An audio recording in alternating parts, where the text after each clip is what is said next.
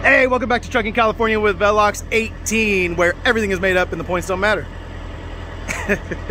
little Drew Carey reference for you guys. Little whose line is it anyway reference for you guys to start out the video. I think that's about the best intro I've ever done. I'm pretty proud of myself for that. I'm like, I think I can just stop this video now. Boom. I've, I've, I've arrived. That was it. That was that was as good as this video is gonna get right there. That just came off the top of my head too. I don't know why I haven't said that before. Yeah, that was good. All right. Anyway, we're uh, down here at the bottom of the Grapevine, Wheeler Ridge, just outside of Bakersfield. And uh, we stopped short here last night, if you didn't catch last video. And uh, we stopped here because, well, because there's lots of parking. There's always parking. I nosed into this spot to uh, protect the, the truck El Hueso back there. And uh, well, we're gonna continue this produce load that we picked up down in El Centro, California. And uh, we're gonna take this broccoli up to Oakland. So uh, we're gonna stop off at the house because uh, we're ahead of schedule. They got me loaded in like an hour last night. It was amazing. It was awesome. Uh, but now we're gonna head up and uh, and and get to the house, hang out with the family for a little bit in the evening time, have some dinner, and then we're gonna head over to Oakland to make our delivery tonight. So that's what's in store for today's video. Let's get trucking, y'all. I just said y'all. I'm gonna be. I'm gonna fit in just nice in Tennessee. All right, roll the music, y'all.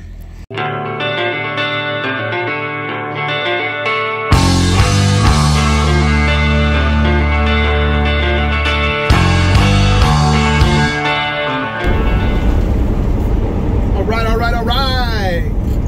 Woo! We're uh, we're rolling through Visalia, and uh, yeah, been trucking right along right now. We're trucking right along. I was uh, on a phone call when I left Bakersfield, but uh, uh, Wheeler Ridge. But uh, yeah, man, I I got a, a, a friend down in Southern California. He said, "Hey, I, I watched your videos. I, I saw that you uh, that is kind of slow right now on the uh, on the reefer stuff. I got a flatbed trailer you can use, uh, or a curtain van, and uh, and I got a connection with the broker if you want to come down here and run some loads. Uh, so I'm like, I, I got I'm seriously seriously contemplating that right now. So uh, so, but anyway. I like what I'm doing, and I'm I'm liking you know building relationships like this relationship I just got with the broker on this load. Um, you know, I wouldn't have gotten if I did they didn't cancel the load, uh, my previous load, and if I wasn't just kind of desperate, uh, willing to deadhead 175 miles to go pick this load up. Um, you know that that kind of uh, that's. Um, oh, I thought that was something else. Sorry, I, I got I'm getting distracted, getting distracted, but. Um, yeah, so so I like you know getting getting in uh, you know good with with new brokers and building new relationships within the reefer side of things because you know these those are things uh, those are things that will serve me in the long run with this type of freight.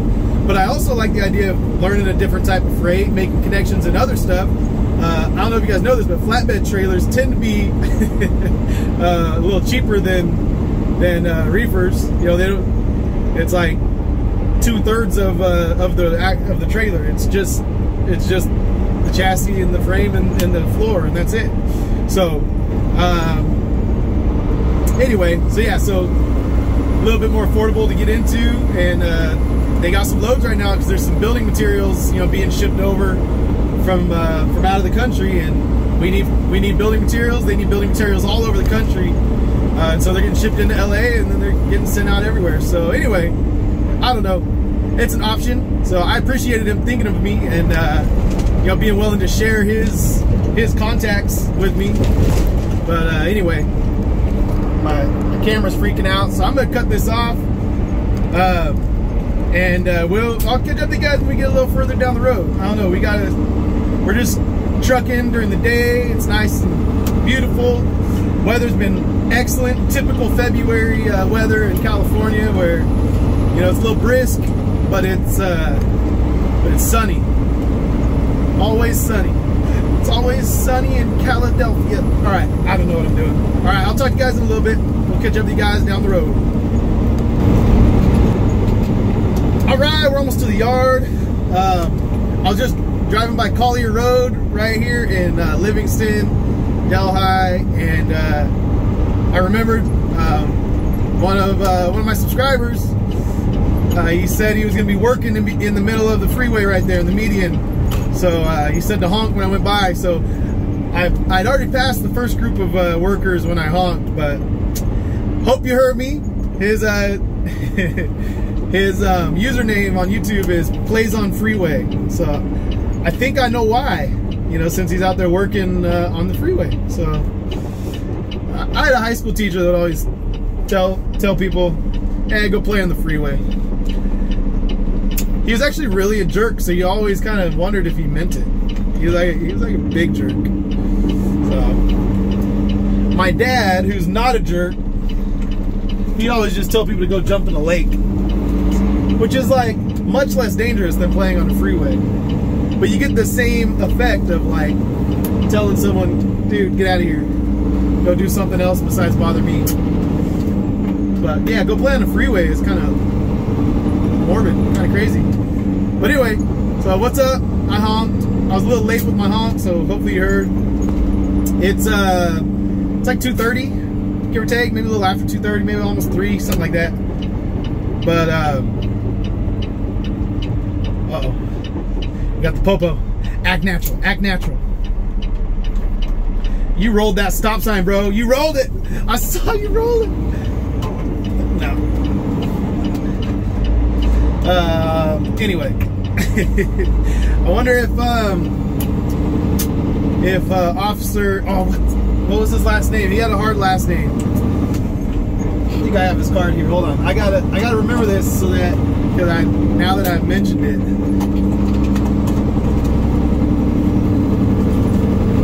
Yeah, Officer Zakowski. What if Officer Zakowski still uh, still watches the channel? He can tell he can tell that uh, that Merced County Sheriff uh, deputy that they just rolled the stop sign. Maybe he can write up a ticket for me. He's like, hey man, we got video proof. You rolled that stop sign, sucker. All right, we got it in the spot, and uh, we're gonna go ahead and go uh, back to the house and hang out with the family for a little while, and I'll catch up with you guys later.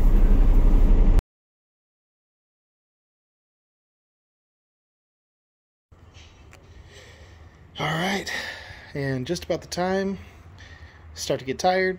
It's time to go to work. This pickup's been treating me good besides the guys who stole the catalytic converter, it's been uh, running like a top. Running like a top. Well, let's uh, let's go get over to the truck. All right, we are back at the truck. I feel like I'm starting a new video. I feel like I feel like I should just be like, yeah, let's go roll the music. But we already did that, so let's just go get in the truck and drive. It's kind of boring. Kind of wish I had some other uh, some other song. You know what? I think I might create a new intro just for this right now. This we'll call this the what? The intermission. The intermission roll the music, right? We're gonna roll the music again, because that's what we're doing. We're rolling the music twice!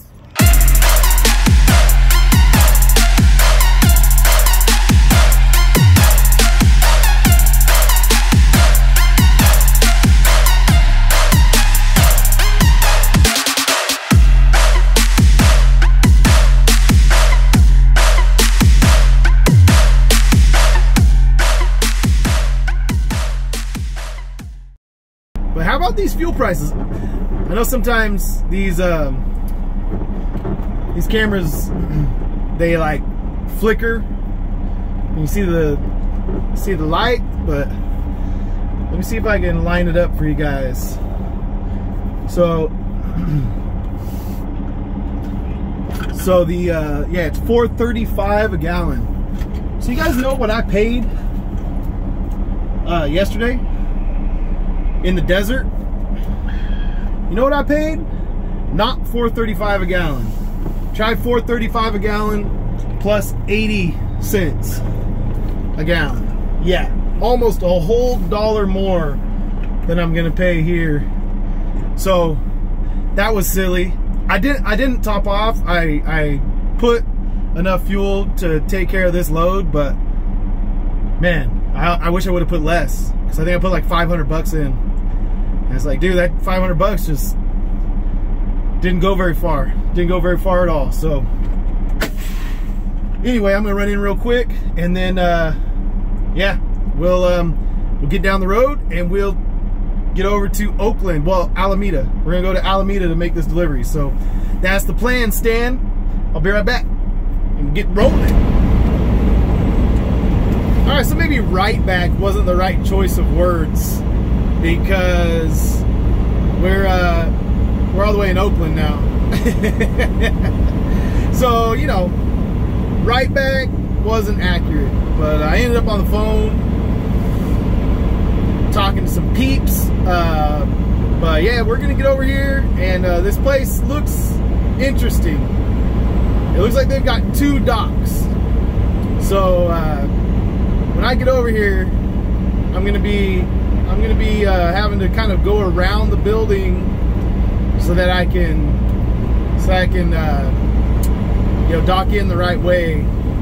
So anyway, it's it from the looks of the of the map, it should be interesting. All right, that's all I gotta say. That's all I gotta say. But uh, yeah, we're trying to trying to get this thing, uh, this stuff offloaded off the truck. Uh, it's just 10 o'clock now, so this is when they start receiving. Uh, between 10 and 5 a.m. was my delivery time.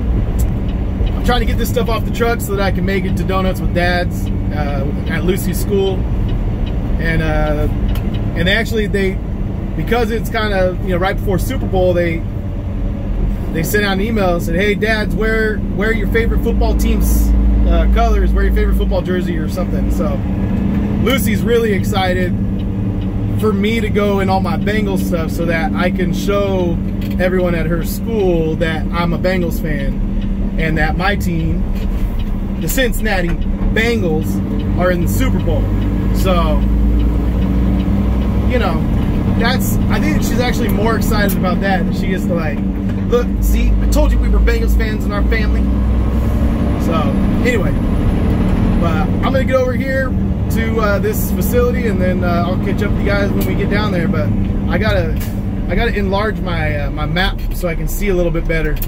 Coming down into, into some streets that I've never, uh, I've never been down. So, got to cut it off and catch up with you guys in a minute.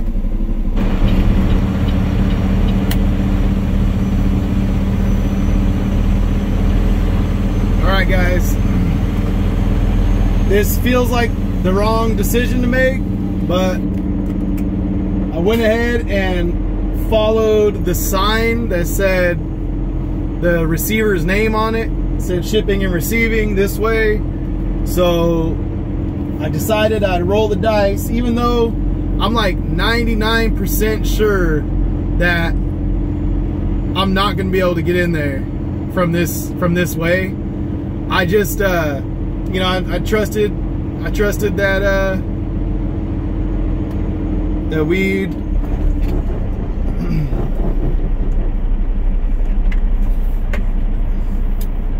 I trusted that, uh, that, that we're, um, oh, this guy's got to come out this way. I got to hug it.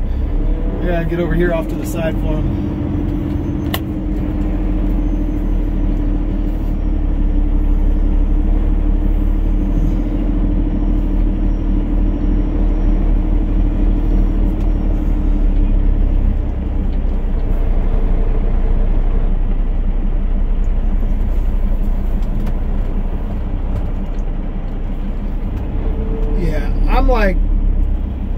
Pretty sure that we made a bad decision here, folks.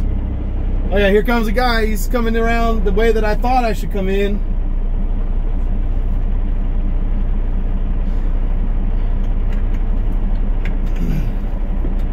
I don't, oh, he's trying to,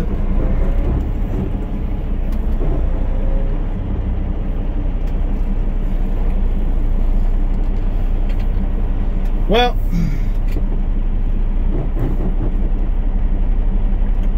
This is not good. Cause see how that guy's facing? That's the way I needed to face. So that's just the way that this is gonna work today. I followed the sign.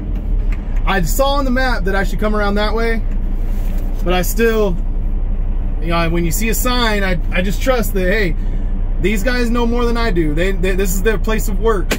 So when it says shipping receiving this way, I just assume, but I guess if they're used to getting box trucks, they're used to getting box trucks. But we'll go in and we'll check it out right now. All right, guys, this is gonna be kind of silly, but we're gonna back all the way out of here and then go around the building. I looked up there, there's a couple places where I, I feel like I could almost like, you know, nose into a dock and try and, try and turn around that way but it just feels uh, a little a little too tight. It does. It feels it feels um, like like I'm gonna be uh, really doing it. And this I kind of weaved in here. I don't know if you noticed. So it's this doesn't this doesn't feel good doing this at all but at the same time, I kind of don't know that I, I, I honestly think this is the safest thing for me to do. So, man, a big, big fail on uh, whoever put the sign up.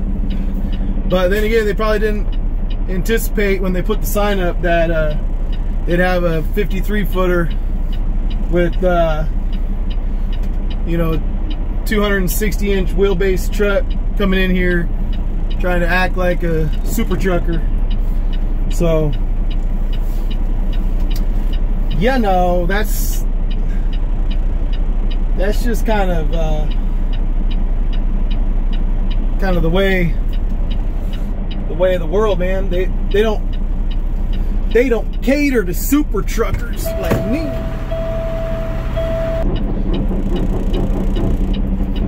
All right, and we did it. We safely kind of weaved out of that whole mess that we found ourselves in and now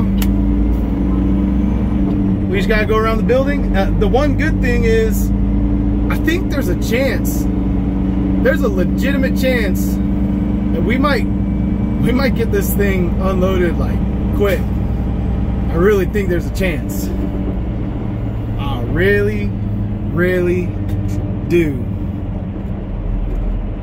Now this is the driveway, but this is a little bit tighter than the, the other driveway I pulled into. So this,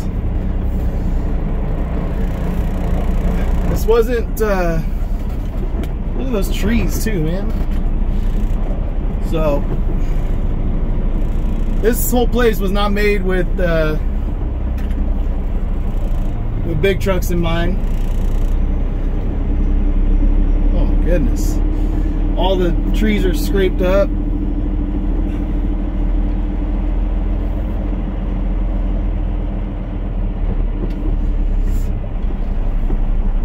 It's not that one, it's the next one. I, I almost I almost put myself in the same predicament. You see that? Silly. Man, I just I gotta hug these trees. This is this is this is silly. I was gonna try and record some of this for you guys, but that other truck's waiting, waiting for me, so I'm not gonna run around and get my camera set up and all that. That's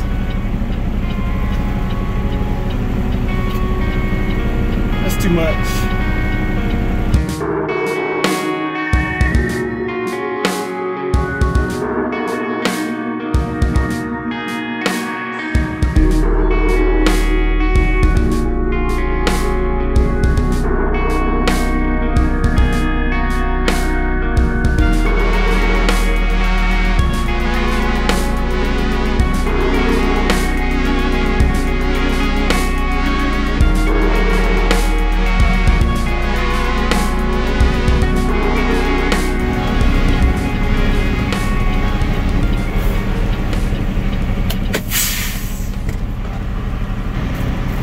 All right, we got it in there. Took a little maneuvering. We got it in there. Had to make sure I didn't hit this dumpster. But uh, yeah, said he's gonna unload me. They're charging me uh, $3 a pallet, 26 pallets. So, uh, quick math tells me I'm gonna owe these guys $78 and uh, I'll get the broker to pay for it. And he said I could call him anytime of night or whatever, but I don't really want to. I'm just gonna pay it and I think this guy, um, just from my interaction with him when I got the load, I think he's good for it. I think he's good for it. So anyway, so uh, th these guys told me they had to clean and make room in the cooler because uh, this this whole load's going here. Normally, guys just drop off three, four pallets and keep going to their next stop, but this one's a full load, so he uh, he said he's got to make room in his cooler. So we're gonna be here a while. He said, uh, go ahead, you can take a nap. I'll knock on the door when you're done. So all right, sounds good to me. It's late, so yeah, we'll see how long this takes. All right, guys, it's almost one in the morning. So it took them a little while. It took them a little while, but hey, we uh, we're gonna get home about 3:30 and sleep for about three hours, and then go to donuts with dads. So uh, I should have uh, slept a little bit, but I I'll be honest, I just started getting tired just now just right now. So,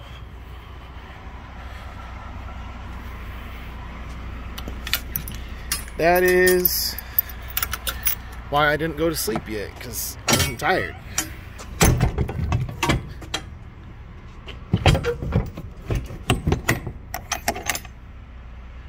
All right. That is that and uh, we'll go on back where we came from, back home, and uh, I think we're gonna call it a week because tomorrow's Friday, and I don't know. I'm looking for a load for tomorrow, Saturday, Sunday, sometime to leave out and make some money, but I haven't been able to uh, to find anything yet. So we shall see. But until then, uh, I think I'm gonna sign off right now on this video. Love you guys. Peace out see you on the next load. If I can ever get one. Ah! All right, hey, actually, uh, I want to close out the video by giving you guys the numbers, the numbers. We got to get to the numbers.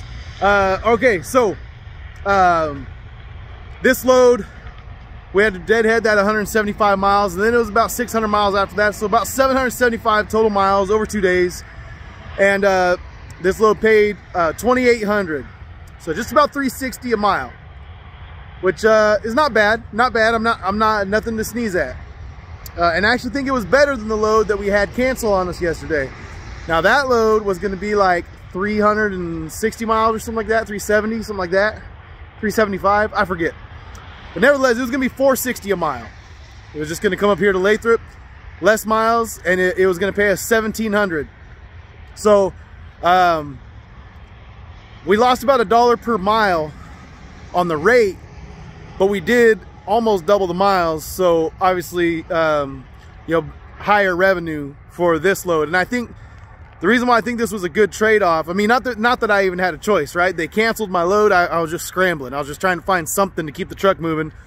But um, now that I'm back up in the NorCal market, there's not a lot here, man. There's just, it, it's, it's slow at the end of the weeks.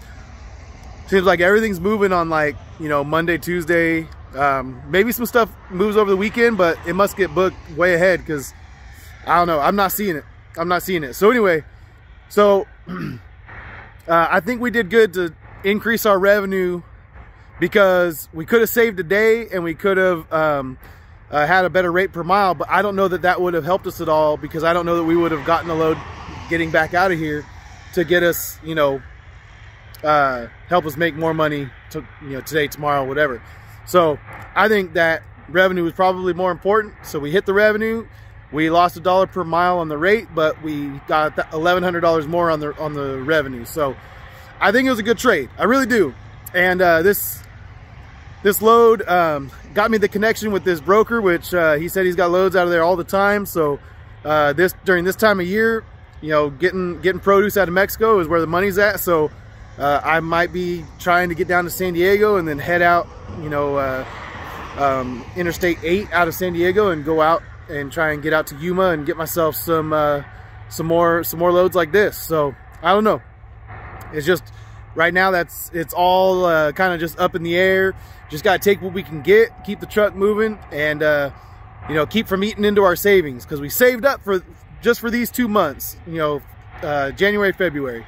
We we have money in the bank, but I don't want to touch it if I don't have to, right? So I just gotta keep the truck moving, try and uh, try and make it to where we're we're uh, we're rocking and rolling. So that's uh, that's what we're doing, and I think I, I'm gonna go take like a three hour nap and then we're gonna go to Donuts Donuts and Dads or Donuts with Dads or whatever it's called. And so uh, Lucy, I'm on my way home. I'll see you in the morning. And um, yeah, the rest of you guys, uh, I will see you on the next load, whenever that is. Whether I get something over the weekend that takes me out of here or whether it's uh, Monday.